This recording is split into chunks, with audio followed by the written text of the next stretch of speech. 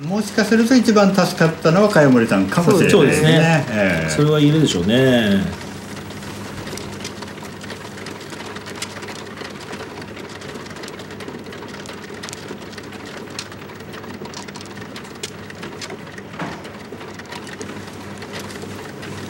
だこれもいいいいですね。形は今。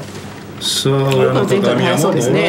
引き入れていい形だ宮内もまあまあといったところでしょうか。ただ展開的に言うとねあのこれスタートダッシュ今高宮さんが圧倒的にいいじゃないですか、はい。うん。圧倒的いい割にはまだ点数は大して稼いでないんで,、まあですね。はい、ここで少しちょっとあの加点してはい。安全圏までいけるようじゃないと後半苦しむような気はしますね、それ先ほども休みだったしということですか？そうですね。はい。といってもおそらく高めはなかったと思うんですよね、もう上がれただけ良え。えかったみたいな。ええまあまああの解説席から見るとそうですけど、打ってる本人はそうは思わない。ですよね、はい。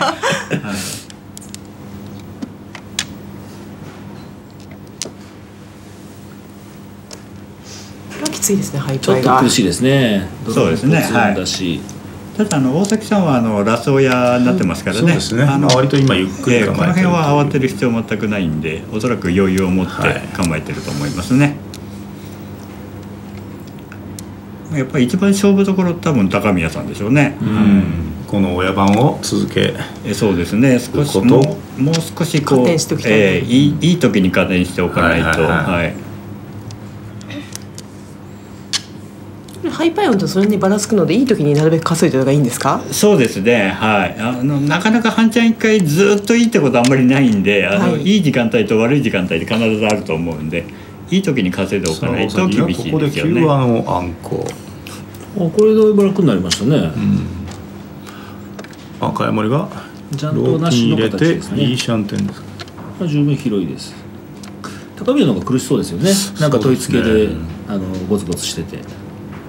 大崎やっぱあそう統一ちょっとリードミになってしまいますよね。そうですね。ローマにまあなんとかねドラにくっつけいたいといった感じでしょうかね。スマート3個なんかも見えますしね。うんはい。これどうしますか？数万ですか？そうでしょうね。表示はうまんですし、やっぱりドラ重なりのテンパイが最後。そうこれですねでいいシャンテンの形だ。でおそらくカンチーマンでも即リにいけるスタイルを作ったでしょうね、パーピン引いた時どうするかですよね。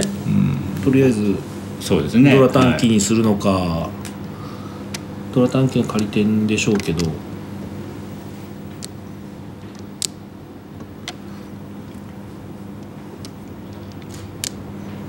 こは3腕が統一一応残しましたかね、うん。これでそうですね。宮内さんはさっき勝負点上がれませんでしたからね。少しゆったり構えると思いますね。あこれだ。あこれでどうする？一応ドラそうなイメージないんですけ短どね金森は。とりあえず闇点で。ドラのええ短期の闇点の形に取れましたね。テンパイが入りましたリズムドラドラだからドラ短期でリーチする人結構多いと思うんですけど、はまあ、理想はリャンパストでってことですかね、うん変化してっていうことですね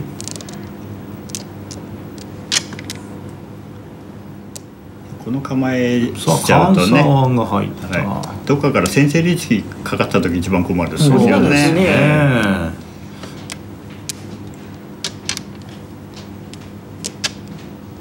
ここで一面図完成して、はい。これでいいシャン。一応だから嘘引いたら四五郎の目が出てるっていうやつですね。ああ取らないんですか？あの9点もう切ってますね。あ切ってるんですね。はい、1点の形なんで。さあこれでいいシャンテンだ高宮。あそうじゃないですねここもいいシャンテン大崎さんもカウンマまで位置しづらいさあどうする？ここでドドラを切るか？ドラ切って闇点ですかね。ピンフのテンパイに変えましたね、因数ピン待ち。いいピンは川に1枚。そうですね。まあ順もか順目的にドラを打ち出せるギリギリでしょううね、んでもこの順目にドラを打ち出してるってことは周りが警戒するわけですよね、まあ闇点入ってるのは大体見当はつくでしょうね、はい。あと高いか安いかと。これはい、これはつもぎだ。まあ、ただリーチってきてない時点でおそらく安い可能性の方が高いなとは思ってると思いますけどもね,、そうですね。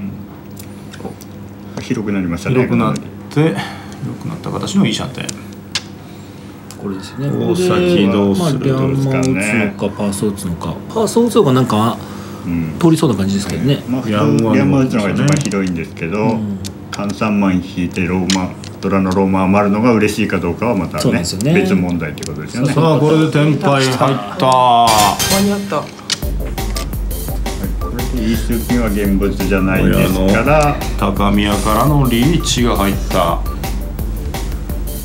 貝森さんも一巡二巡の勝負ですからね。さあ掴んだ。さあ掴んだぞこのウーピン回ります。パーソーで回る。ですからね。統一落とし茅森はリャンスはまあほぼ通りそうな感じですね。なんだ？おいああ一発高めきた。6000オールから一枚一枚でいい8000ペース8000オール8000オールくる6000オール6000オールきたー来ました高宮。いきなりウーピンウーピンが対面同士で並んでたんですね。ね大崎が掴んで高宮が同じウーピンを積もうと